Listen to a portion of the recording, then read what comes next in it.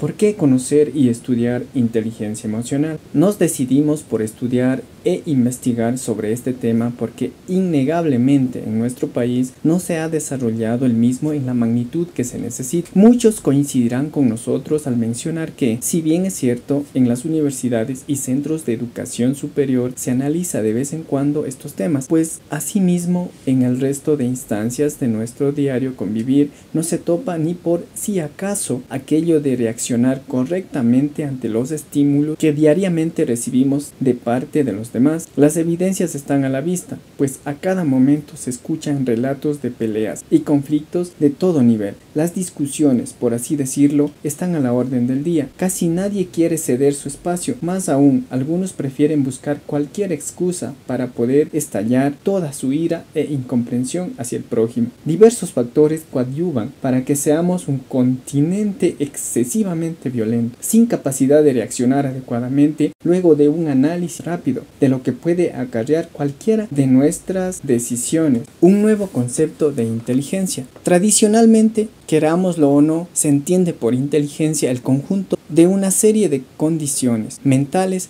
que abarcan algunos aspectos del pensamiento humano no todos. Se entiende por inteligencia la capacidad de organizar dichos aspectos del pensamiento para la mayor eficacia de la consecuente acción entendida como actividad humana. Entre estos aspectos se da verdadera importancia en una persona inteligente a la capacidad de raciocinio, a la posesión de una memoria eficaz, selectiva y rápida, y a la destreza o agilidad en el procesamiento de las ideas. La capacidad de razonar inteligentemente es la posibilidad de establecer relaciones objetivas a modo de causa-efecto entre las ideas que van comprendiendo un pensamiento inteligente, esto conlleva evidentemente al desarrollo y uso de las observaciones, del análisis de los datos obtenidos en la observación y de la valoración de dicho análisis, capacidad crítica, para llegar a conclusiones mentales o intelectivas. Una buena memoria funciona utilizando términos modernos como base de datos que aporta la información requerida en una situación aleatoria de una forma ágil, rápida y oportuna. Esto facilita el pensamiento de la información que lleva a un resultado mental, es decir, a un pensamiento. La valía de todos los anteriores aspectos se ve incrementada si hay un hábito o habilidad de dirigirlos o, por utilizar otro término moderno, integrarlos de una forma rápida, ágil, precisa. Esto es la destreza o agilidad mental. Me atrevo a creer que cualquier persona inteligente se conformaría con la definición de inteligencia que agrupase a los aspectos enumerados y brevemente explicados anteriormente. Resulta a mi entender que hoy en día existe una serie de necesidades como consecuencia de la multiplicación de las posibilidades humanas a nivel social, laboral, filosófico, artístico, humano, etc que no se pueden cubrir de una forma satisfactoria con el desarrollo de la inteligencia entendida como el conjunto de aspectos enumerados anteriormente. Si no se cubren de tal manera, cosa que me temo es cierta, tales necesidades creo que no se están actuando inteligentemente, con lo que si la inteligencia es una persona se reduce solo al desarrollo y mayor productividad de los aspectos antes señalados, tendrá inevitablemente aspectos y necesidades no cubiertos que harán de ella una persona, si bien no insatisfecha ni frustrada, si alguien que no alcanza el máximo de sus posibilidades como individuo o lo que es lo mismo, su individualidad, su persona, verbigracia, su personalidad. Quien no trata de conseguir esto no es inteligente. Habrá alguien, supongo, que estará de acuerdo conmigo. Entre las necesidades que hoy en día han generado en el ser humano y que son nuevas por el tipo de vuelta, cambio y evolución humana, existen algunas que hacen necesaria una nueva capacitación mental, física, efectiva, afectiva, social, motriz, relacional, etc. Para hacerlas frente si se quiere vivir inteligentemente, es decir, un desarrollo de nuevas capacidades una nueva inteligencia. Las necesidades que acosan y crean ansiedad al ser humano hoy día en el fin de un milenio e inicio de otro son de diferentes grados y niveles. Unas se pueden afrontar desarrollando los aspectos intelectuales contenidos en el concepto, vamos a llamarlo tradicional, de inteligencia y otras no. Es decir, de lo que antes se podía prescindir para ser considerado inteligente, ahora ya es necesario. El concepto de inteligencia, como es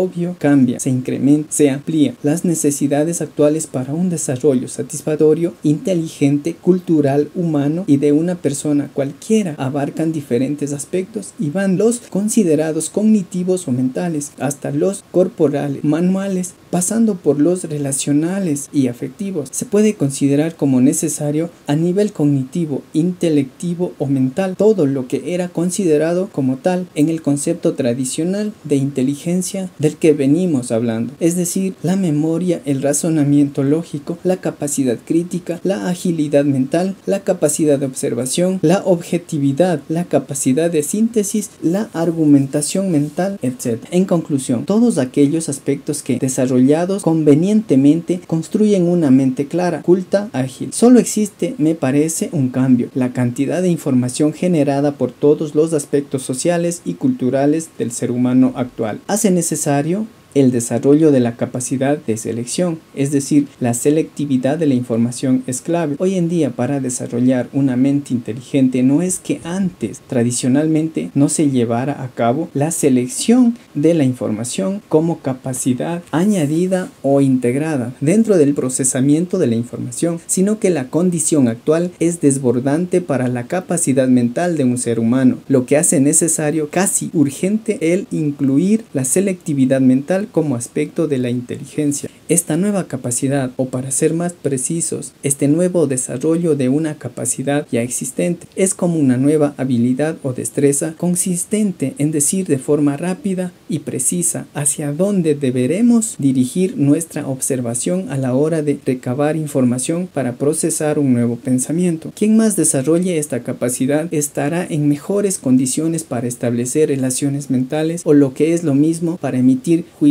intelectivos. Existe una serie de necesidades nuevas por el modo de vida del hombre de hoy, que si antes era completamente al desarrollo intelectual y no se consideraba como factores de incremento de la inteligencia, actualmente me temo son parte del desarrollo de la persona y por tanto de la inteligencia. Son necesidades de carácter manual, considerado desde el punto de vista manipulativo, que no escapan al hombre en ninguna de las situaciones o estratos en que se encuentra. Hablo de la necesidad de manejar, manipular, conocer, resolver, utilizar productos y frutos de la creación del ser humano de los que no se puede ya separar. Por poner algunos ejemplos, se puede hablar de la necesidad de manipular aparatos de locomoción, los cuales exigen habilidades mentales, aparatos domésticos cada vez más complejos y eficaces, instrumentos mecánicos, favorecedores de condiciones laborales, capacidad motriz, aparatos de intercambio social y cultural, cajeros automáticos, mandos a distancia, telefonía móvil, electrónica, digital, etc. Todo este cúmulo de condiciones, simplificando mecánicas, exigen una capacitación para moverse de una forma hábil, de una forma eficaz y de una manera inteligente. Por el entramodo de la red social actual, quien no sea hábil en la utilización de todo este montón de aparatos de los que somos presos en la dinámica social, es cierto que algunos más que otros no están actuando inteligentemente. Por otro lado, el denominado entramodo social o la red de dinámicas sociales, culturales y laborales exigen del hombre de hoy, sino unas nuevas capacidades para evitar la idea de que nunca las tuvo, si el desarrollo de unas capacidades que le sirvan para ser lo más eficaz posible en dicho entramodo. El mundo laboral, sea cual sea el estrato social, exige conocer y denominar unas variables para poder desarrollar una labor de forma inteligentemente humana. Tales variables son llamadas relaciones. La relación laboral se ha convertido en una nueva disciplina que es necesario desarrollar, conocer y dominar. Hacer esto es hacerlo inteligentemente. Si bien antes tradicionalmente una persona inteligente conseguía dominar tales variables como consecuencia del desarrollo intelectual, ahora la situación existe exige dominar dichas variables como condición intelectual de una consecuencia se ha pasado a una condición.